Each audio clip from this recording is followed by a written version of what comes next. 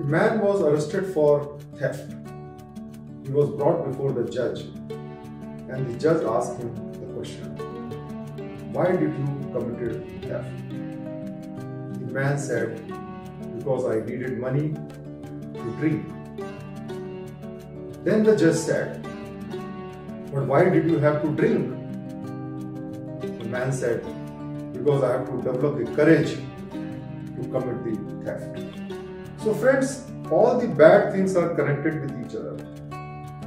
If you follow one bad thing in your life, you will find that you have to follow another bad thing in your life. The people who commit corruption have to also speak lies, have to also act against the honest people, and then when they make money, they will often be using that illegal money in the illegal ventures. It often develops bad habits in them. They will be doing many immoral acts. And so, friends, they will be committing more and more evil acts. We have to understand that evil things does not come alone. It always comes in a package. And one bad thing in life give rise to another bad thing in life. And then gradually the person become absolutely bad and the people start hating that person because he has so many negative qualities.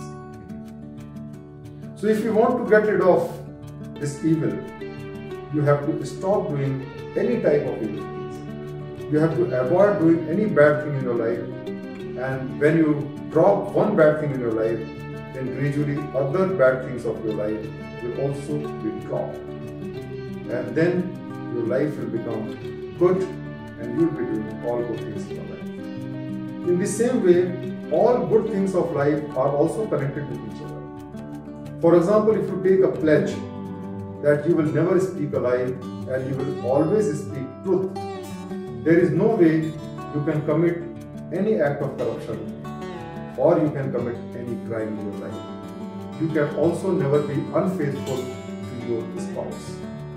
So, friends, all the good things are connected with each other, and all the bad things are connected with each other. And therefore, if you want to live a good life, you should never do any bad thing because once you do a bad thing, it will lead you to do many more bad things, and then it will be difficult for you to come back to the right path and do the good things in your life and lead a happy life.